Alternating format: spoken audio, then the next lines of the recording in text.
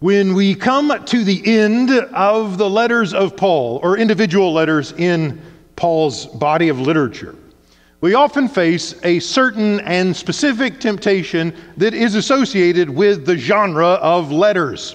It doesn't present itself the same way when we're reading a gospel or some other ancient document that's in the canon of Scripture in the Bible. It's mainly with the letters.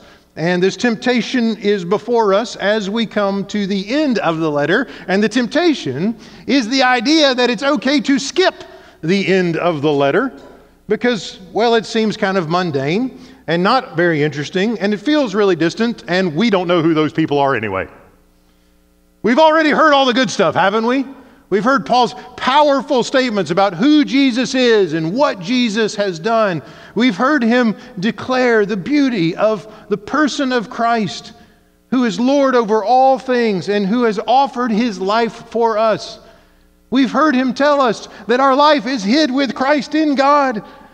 And we've heard him call us not only to receive Jesus, but to continue to walk with him, to live in him, to draw near to him, We've heard him say that that means taking a very aggressive posture towards the problem of sin and rebellion, those things in our life that seek to rear their ugly heads and create distance between us and God. We've heard him say, hey, you got to put that to death. Kind of hard to hear sometimes, but it wasn't uninteresting when Paul starts talking about that kind of stuff. We've worked through these rich and robust aspects of the letter. We've heard him say, that the gospel offers flourishing and that Jesus offers above all perfect love, unity in the Spirit. And so we get to the end and we're not sure what to do with them. We know it's a letter and he's got to tie up loose ends and offer his greetings and he's got these instructions and those people need to know what those other people are up to, but Tychicus, Epaphras, Aristarchus, what do we do with them? Who are they? What do they have to do with us? They lived 2,000 years ago. And so we're tempted just to think, well, you know, we've read the good stuff. Let's skip on over to 1 Thessalonians or Ephesians or something and get some more meat. The trouble is, God, in His great wisdom, has included in the inspired and authoritative canon of Scripture in the Bible these letters, occasional letters written to individual people in very specific places, in a different language, on the other side of the world, in a different time, with different cultural assumptions. God, in His wisdom, instead of giving us some sort of theological treatise or some other book of church polity and practices, gave us a book that includes these letters. Wisdom would say we should pay attention to that. If God, in His wisdom, offers it to us, wouldn't it be wise for us to receive what He offers? Wouldn't it be wise for us to say, We may not understand it, but we know you do, Lord. So we're willing to linger here, even if it's a little awkward or difficult or unclear. And we're going to trust that you have something to offer us as a means of grace. If we do that, we just might discover that Paul frequently uses the ends of his letter to put an exclamation point on some of the meaty, more important stuff we thought we've, re- we've read earlier. He often uses the end of his letter to offer a vision of what he hopes the gospel will accomplish. A lot of times it comes in the way those oddly named people relate to each other. Oftentimes, the end of the letter letter tells us exactly what Paul thinks was the most important thing he'd said all along. As he did his work planting churches and encouraging churches like the one in Colossae around the Mediterranean. And that, friends, is the case here. as we read together and dig in for the next few minutes these strange verses with strange names, we will find a resounding exhortation that captures up the heart of this letter and offers it to us and leaves us with a remembrance that this whole thing is about one thing. And it is that a Christ oriented community will embody other oriented love. That's the exclamation point at the end of Colossians. Now, how do we get there? Well, before we dig into those household codes, it's worth remembering the big picture structure of the letter. You may remember that the first command comes in chapter 2, verse 6. Paul said to the Colossians, Just as you received Christ Jesus as Lord, now continue to live your lives in Him. Everything up until that point was instruction, or excuse me, not instruction, but theology and kind of statements about who Jesus is and who God is and what Paul is up to. With verse 6, he switches to ethics. It's worth remembering that. And that one big commandment continue in him, continue to live in him, then gets applied to different aspects of life. If you're going to continue to live in him, you got to be able to tell, out, tell who the false teachers are. So he talks about the false teaching. If you're going to continue to live in him, you got to be able to identify sin and rebellion and deal with that. So he talks about that. If you're going to continue in him, you've got to grow in virtue and you've got to put on love, which binds everything together in perfect unity. Those are individual expressions of this one big picture thing. Continue in Christ, major imperative. And everything else is how to apply that.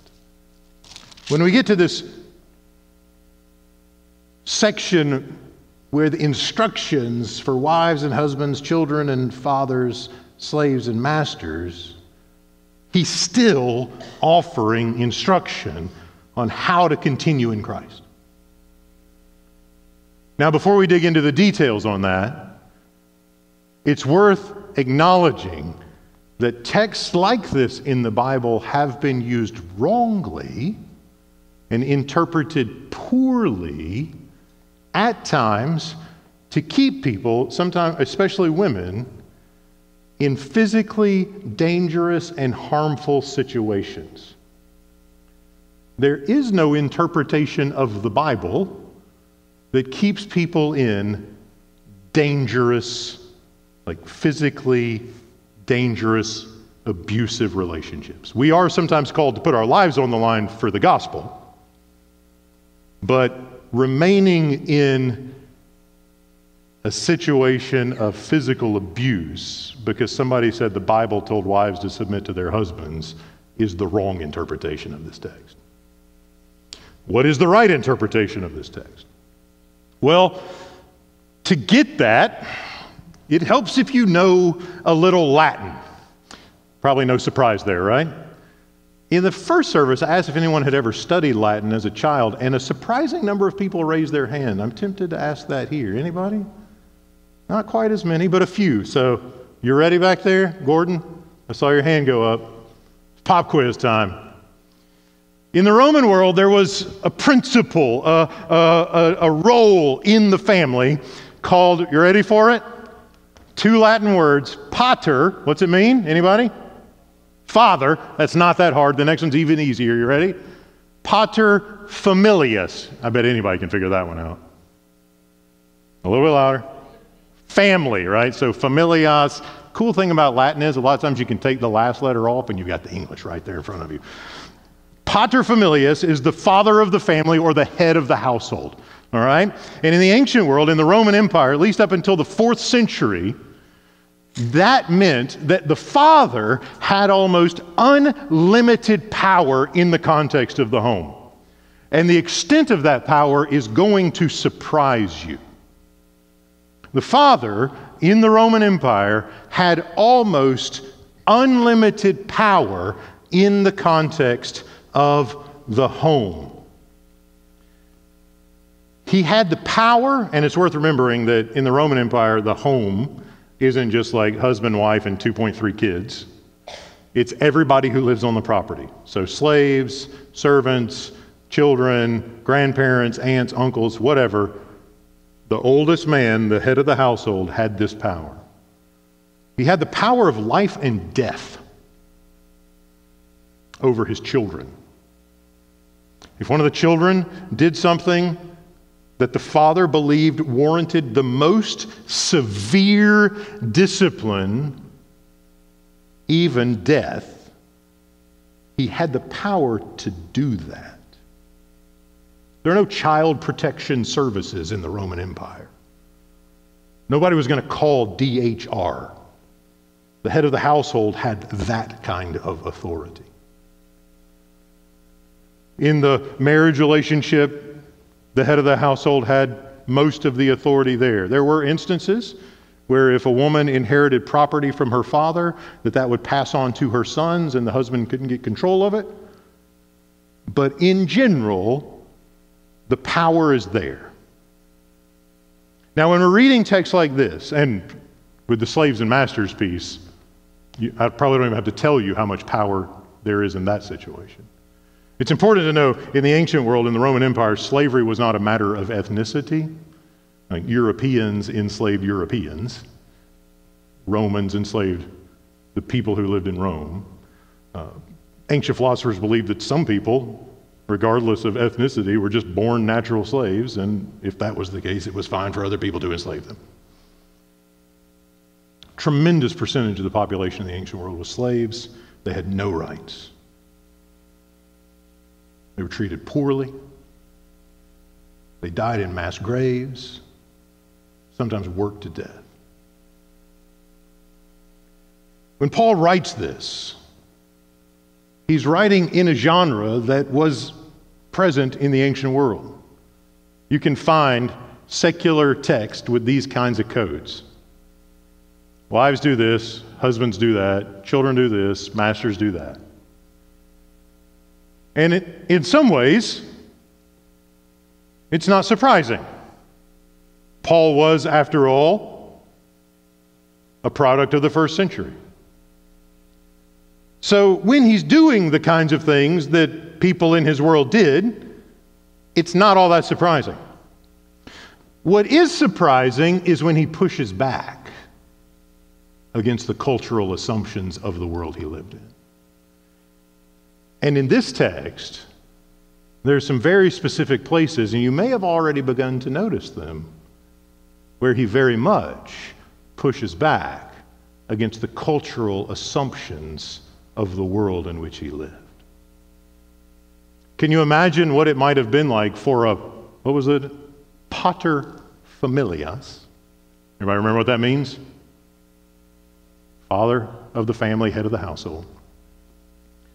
Can you imagine Paul telling the head of a Roman household who has authority of life and death over his children, Fathers, do not embitter your children or they will become discouraged.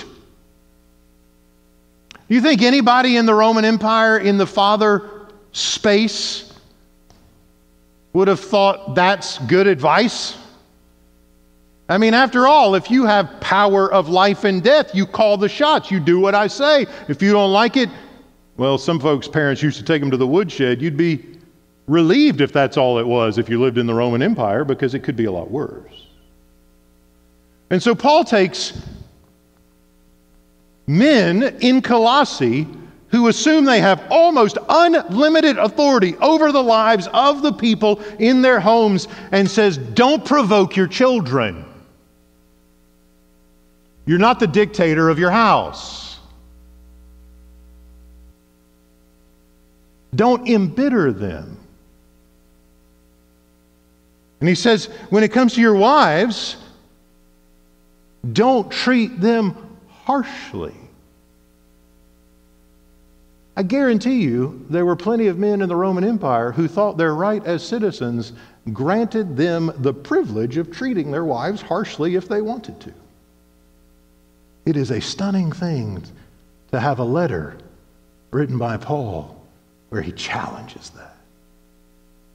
And we begin to see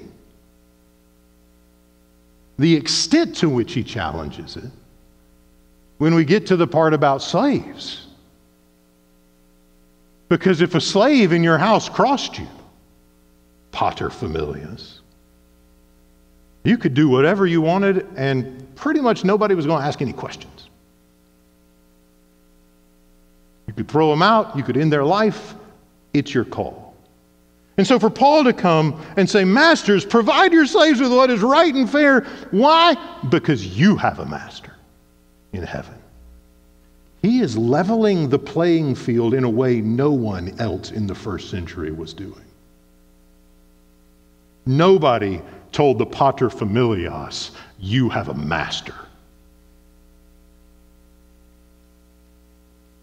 And so when we bring this whole household code, as it's called, together, keeping in mind that Paul has just told them over all the virtues of compassion, kindness, humility, gentleness, and patience. Those are the virtues that he calls on them to embody kindness, humility, gentleness, patience.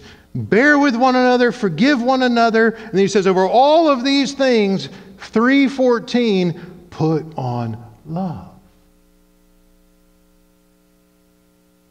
And then when he gets to the instructions for the household, we begin to realize he's calling upon members of Roman households to be ruled by love, not their rights. Isn't that a wild conception? What if a Christian household isn't governed by who has rights?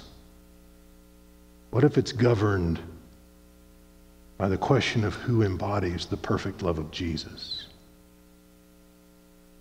in the spousal relationship? Notice how each, mem- each member of the household he addresses is invited to look to the needs of whom?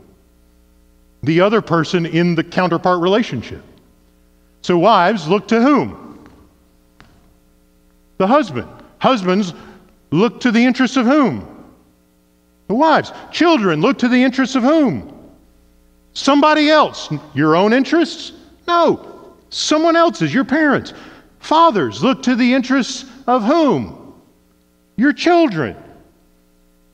Slaves, look to the interests of your masters. Masters, pay attention to the interests of your slaves. And no one is invited to look out for number one. Are they? Why? Because Paul expects a Christ oriented community to embody other oriented love.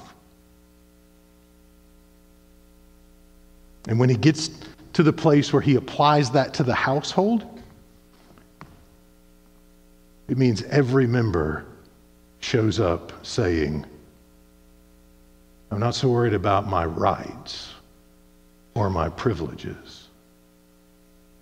I'm looking for ways to embody the character of Jesus in relationship to my household.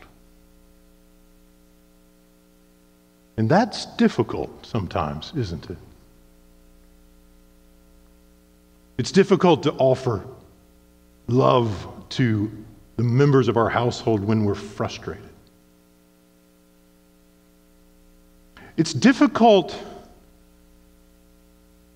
to say to our children, I was wrong, isn't it? We'd much rather, even when we know we're wrong, we're wrong, not say to a child, I sinned against you with what I said a little while ago. This happened in our home a few days ago. I said something to one of my kids, kind of snarky, insinuating that they weren't doing the things they were supposed to be doing. And about two seconds later, I got into another room and was telling Naomi about it, and she's like, No, actually, they have been doing that. and I immediately felt the conviction of the Spirit. And the temptation was there to go, Ah, well, whatever. I don't want to go tell my kid that I sinned against them. I'm the dad. I don't want to look weak. I don't want to look small. I don't want to look wrong. Do you? But the heart of our children depends on the presence of other oriented love in their parents. And the necessity to reconcile, to say, I'm sorry with what I said a moment ago. I sinned against you. I was wrong. Please forgive me. Otherwise,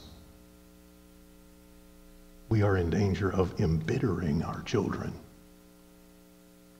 not only against us, but against the gospel we say we love.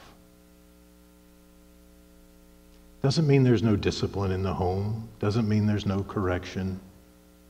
Does mean it's done with an interest in what's best for the other, not with an interest in me getting my word in because I'm angry. See the difference there? You see what Paul's calling for. Continue in Christ. Above all these things, put on love. Cover all these virtues in love. And friends, Wildly so, it is easier to give people at the office a pass than it is the people who live in our houses, isn't it? It's easier to give strangers a pass than the people who live in our houses sometimes.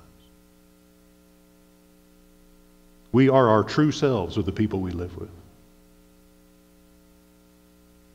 And we are called by God make sure that our true selves embody the self giving, other oriented love of Christ.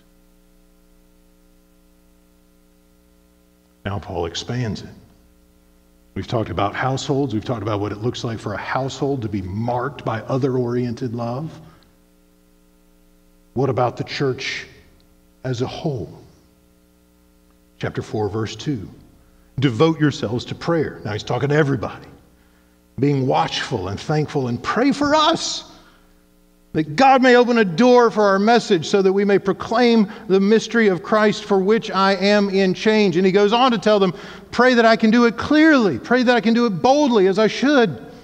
And then you, you, Paul says, this isn't just my ministry, you participate in this with me. You be wise in the way you act towards outsiders. Got your little group, you're the church. It's real easy to be the holy huddle. How do you relate to the rest of the world? Be wise in the way you act toward outsiders. Make the most of every opportunity. Let your conversation be always full of grace, seasoned with salt. And he's not talking about just any random conversation. With the next sentence, he says, so that you may know how to answer everyone. And he has in mind those opportunities for the gospel. And he's asking the Colossians, are you prepared to answer when the question of the gospel arises? Because a Christ oriented community will embody other oriented love, not only in the households, but amongst each other and in the way they relate to the world.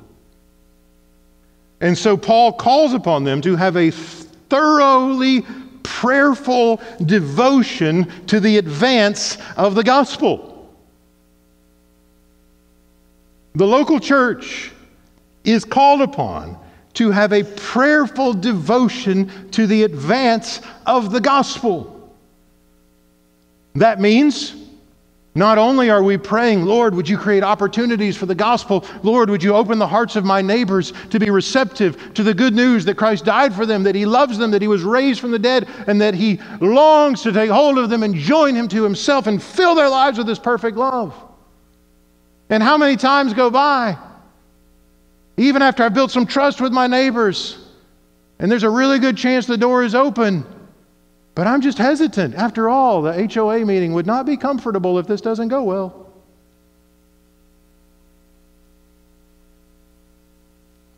What if they're not responsive? You don't want to have that between you and your neighbors. And we, we sort of easily come up with all of these justifications for why the gospel shouldn't be at the center of those relationships. Maybe it's in the place where I go to school. Maybe it's in the place where I work. Maybe it's the guys I play golf with. Paul says, pray for the doors to be open to the gospel. Be prayerfully committed to the advance of the gospel. That's what this thing is about.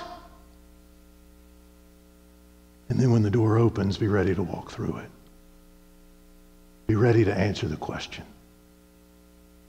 So, for Paul, question number one are we praying for the advance of the gospel? That's really the easy part. number two, are we ready and able to answer the question of the gospel when it arises? You're sitting around on break with somebody at work, maybe having a coffee.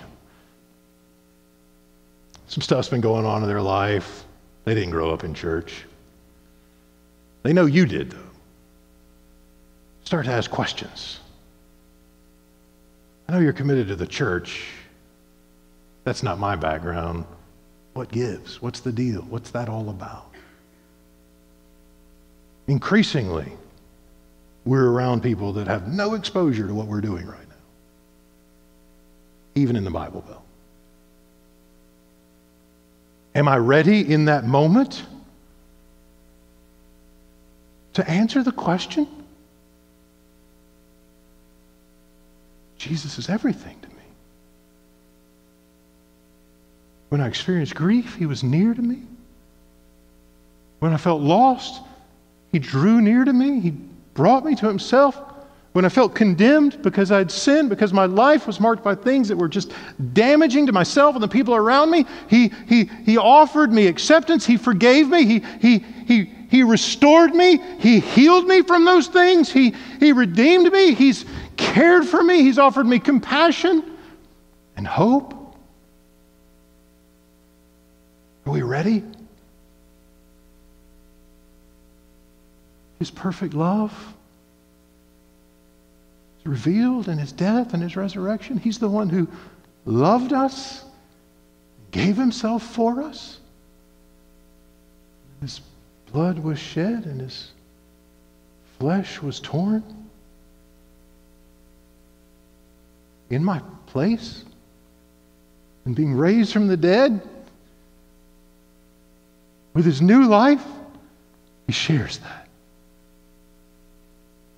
That's why I'm hopeful. That's why I'm there. Are we ready to answer the question, or are we ready to change the subject because we're worried about how it might go?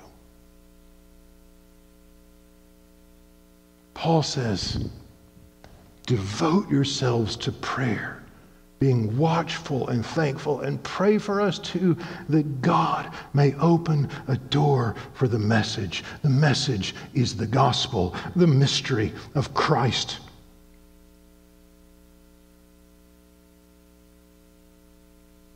Christ died for our sins, according to the scriptures, and was raised on the third day. He reigns over all things, and in him is life. And he calls for our trust and our obedience, and he longs to make us flourish. It's like 15, 20 seconds, right?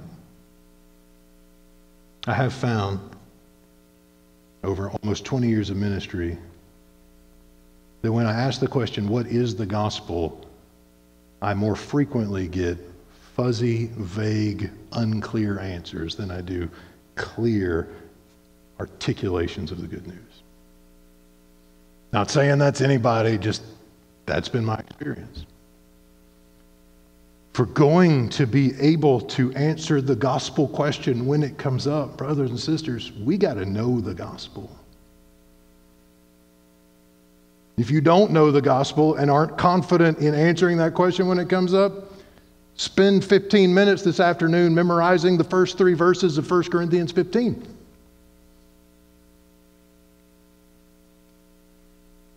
Take a little time every day to lean into the gospel. Christ died for us, He was raised for us. Through trust in Him, we have life. It is not complicated, but it is the power of God for salvation. And when the church talks about Jesus, and when the church talks about his death and his resurrection, his lordship and his exaltation, he saves people. And when we don't, well, he's still going around saving people, but we may not get the joy of participating in that process with the people around us. This is the calling, this is the responsibility, this is the thing that he has entrusted to his people and doing it, even when it's scary, even when it's intimidating, even when we're not sure how it's going to come out and we might be rejected before it's all over, doing that is the embodiment of Christ like love. Like committing yourself to the interests of the other in the gospel is exactly what Jesus does on the cross, is it not? And for us to be willing to take up that good news, and it is good news. Even if it might not go well for us. Well, that's what self giving, other oriented, Christ like love looks like. And all of Colossians, in these few verses at the beginning of chapter 4, punctuate the call through the book, through the letter. Reminding the church that if you're going to be a Christ oriented community, the test of that is whether or not your community embodies other oriented love.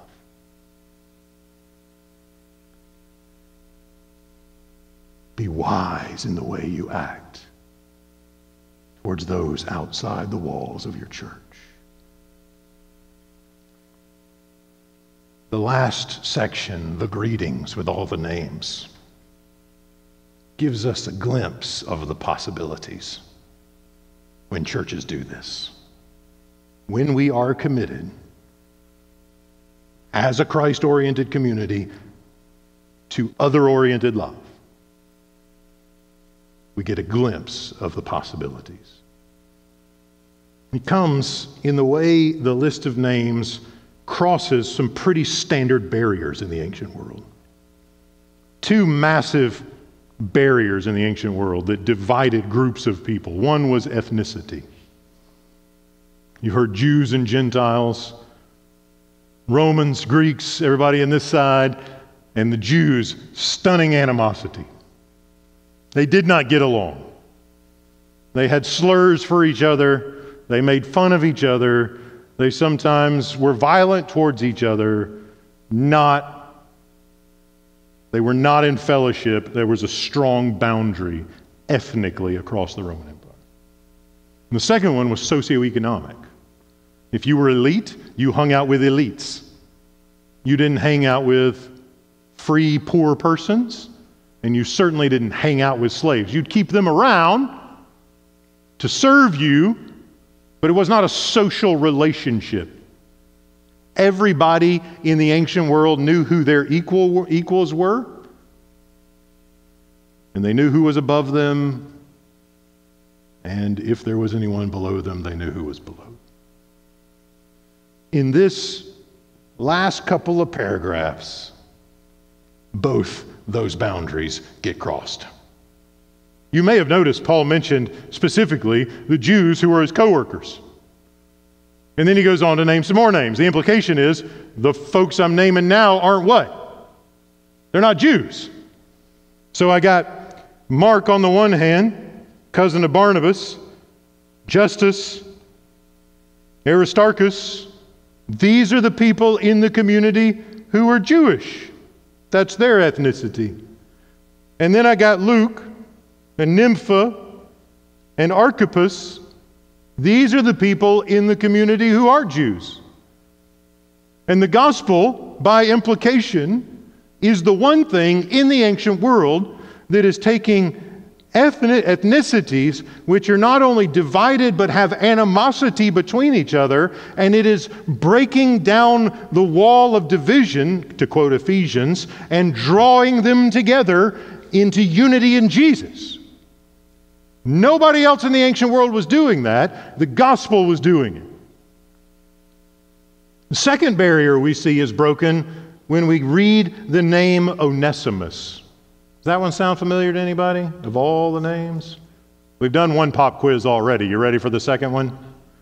In which book of the Bible, I'll even narrow it down, in which book of the New Testament do we read the name Onesimus other than Colossians? Anybody? Philemon. Philemon. That's the one. And in Philemon, we learn what about Onesimus? We learn that he's a slave. So he's in that lower rung of society. It sounds like he maybe robbed his master and took off. Master's name is Philemon. That's who the letter was written to. And Paul and Philemon are, it looks like peers. They relate to each other. They're partners. Paul considers Philemon a partner in the gospel ministry. If this is not fresh on your mind, you can take about five minutes and read the letter this afternoon after your lunch. It's only one page, very short. Paul says to Philemon, remembering the paterfamilias rule, if your slave just knowing what you know this morning, if your slave steals from you and runs away, and you're the head of the household, what do you get to do with impunity? The worst. He can kill Onesimus, and nobody's going to bat an eye.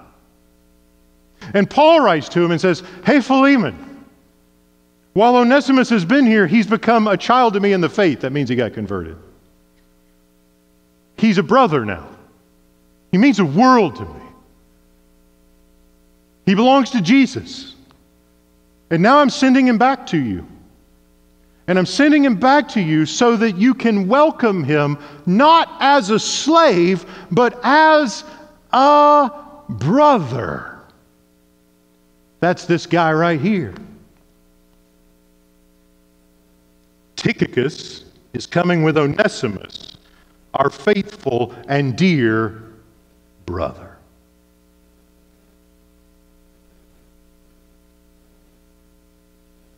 That doesn't happen anywhere else in the Roman Empire. Nowhere does a master welcome a disobedient slave as a brother, as an equal, as a peer. That's the power of the gospel in an empire that was ultimately concerned with the rights of the head of the household.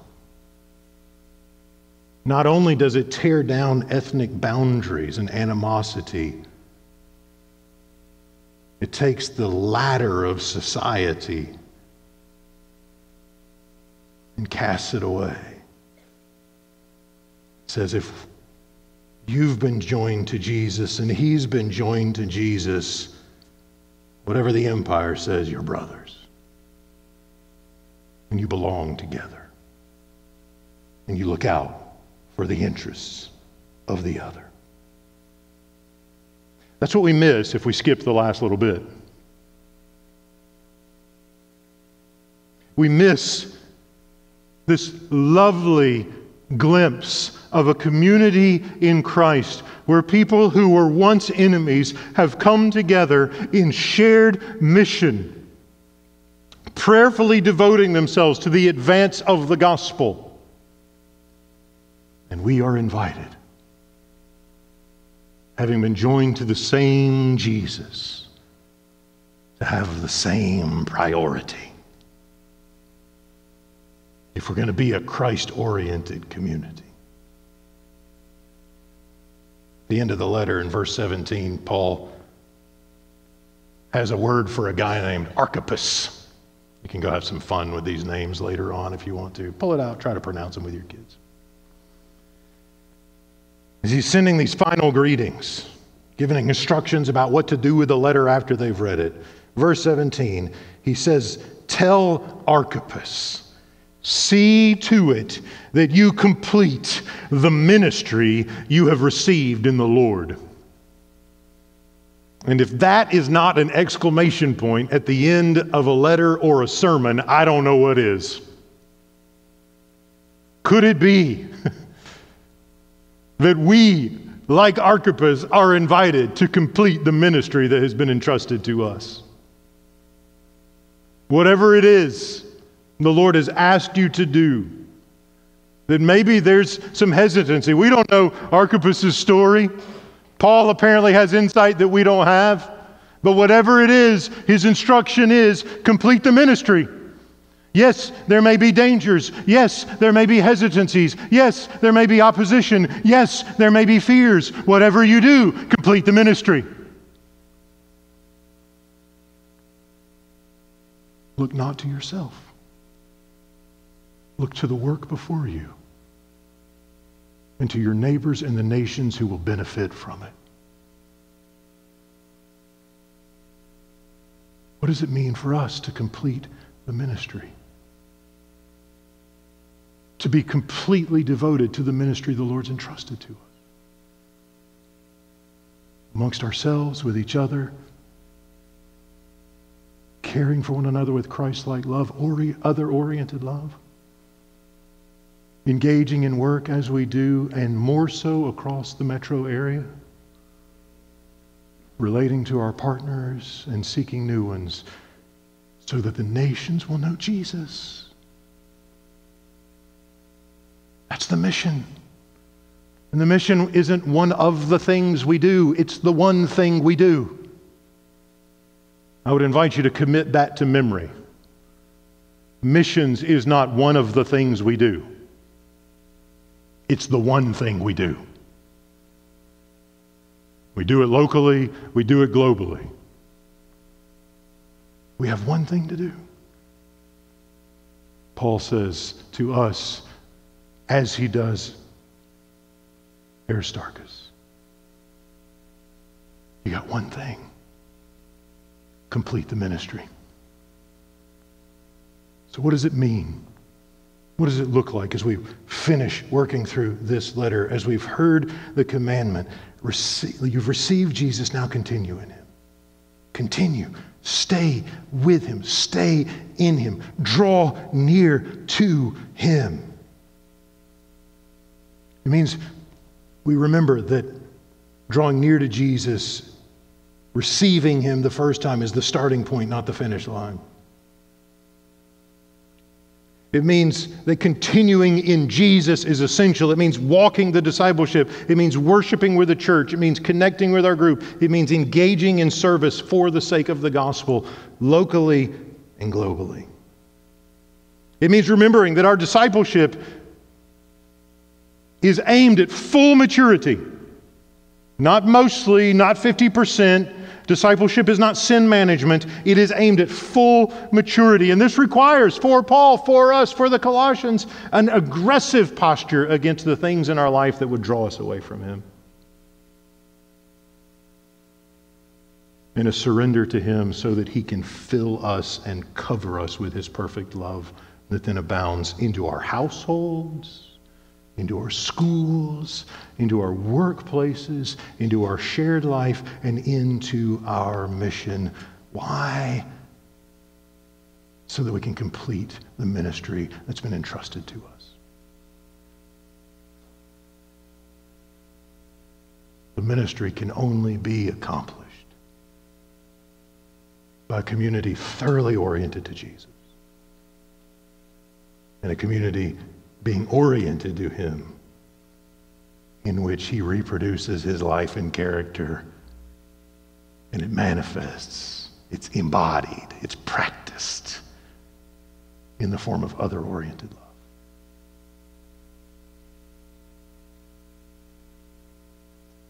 The only question is do we want to be that kind of people? Will you pray with me?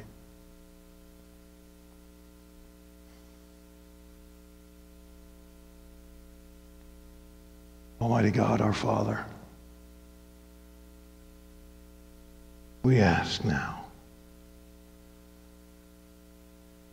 that you renovate our hearts,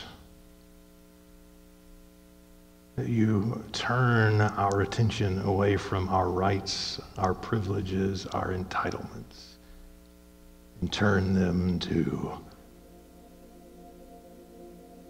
a posture of Christ like love. A love that's willing to say, I'm worried about you. A love that's w- willing to say, I'm sorry, I was wrong. Love that's willing to say, Christ died for you, and he loves you. He desires to unite you with him in his resurrection.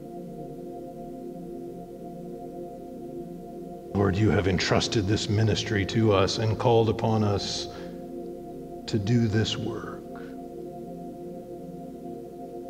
But we can't do it if we don't continue in Jesus. Now we know what that means. So give us the grace we need to hate the sin that remains. Give us the grace we need to put on compassion, kindness, humility, gentleness, and patience, and be covered up in your perfect love.